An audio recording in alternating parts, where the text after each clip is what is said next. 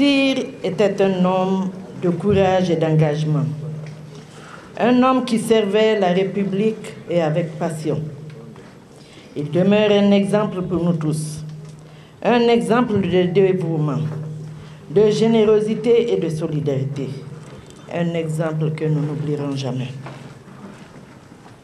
Je sais que les mots de consolation que mon ami Fatou entendra aujourd'hui et les jours suivants n'effaceront pas le chagrin de la perte ni la souffrance de l'absence qui envahira sa vie. La maladie a attaqué brutalement Cyr. Il s'est accroché à la vie avec la foi, la force et l'énergie qu'on lui reconnaissait.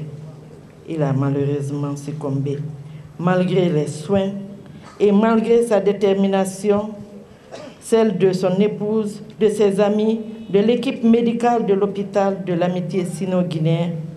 L'amour est inexorable et elle est notre destin commun immuable. Mesdames et messieurs, la carrière de Cyr fut remarquable en tout point. Il était en effet un grand professionnel, passionné par son métier et fier de l'accomplir indéfectiblement, animé par la volonté de servir. C'est en 1977, après ses années d'université, comme membre de la promotion Bokar Birobari, qu'il est mis à la disposition du ministère de la Justice. Il fit ses premiers pas de magistrat à la Cour d'appel et tribunal criminel du commissariat général de Bokeh. En 1980, puis en 1997, il est nommé juge de paix, fonction qu'il exercera dans plusieurs lieux, dont Kissoudou en 1986, où son épouse et lui sont mutés en remplacement de son ami Mohamed Ali Cham et de son épouse.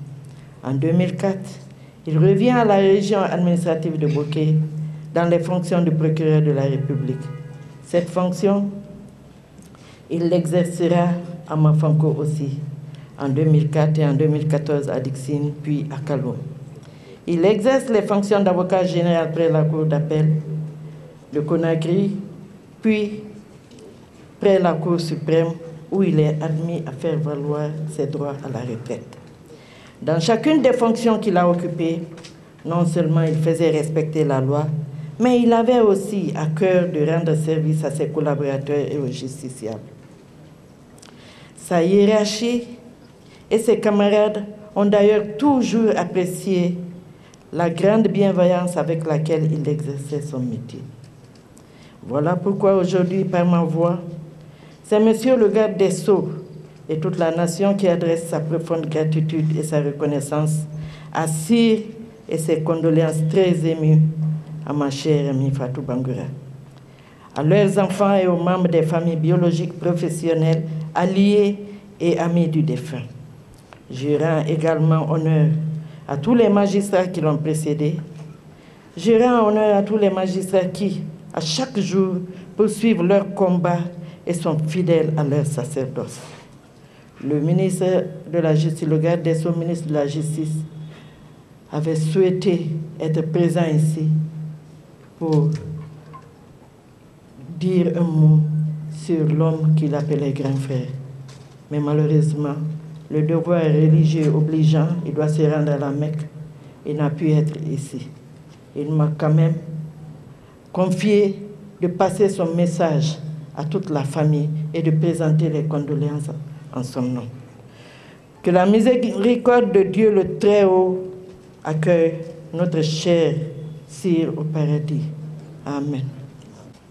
La terre de Guinée s'ouvre. Elle s'ouvre pour s'enfermer à jamais sur notre regretté M. Abakar Silla Sir.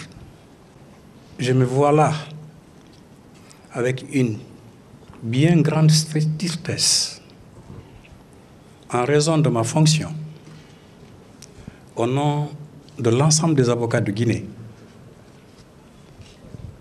Disais donc, je me vois là devant ce cercueil pour être obligé à adresser mon hommage, le dernier hommage du barreau un adieu à son haut magistrat qui a bien servi notre pays. Mesdames et messieurs,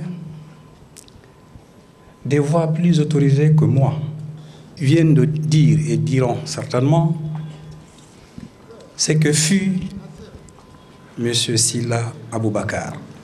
Pour ma part, je retiens de lui un ami,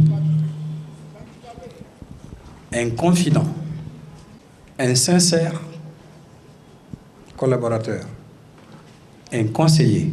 C'est donc une perte, une grande perte que toute la famille judiciaire vient d'enregistrer face à cette épreuve. Je voudrais associer à la prière de sa veuve, de ses enfants, de ses amis, ses parents et proches, et particulièrement de ses collaborateurs magistrats, la mienne, pour implorer le Tout-Puissant de l'accueillir dans son paradis éternel.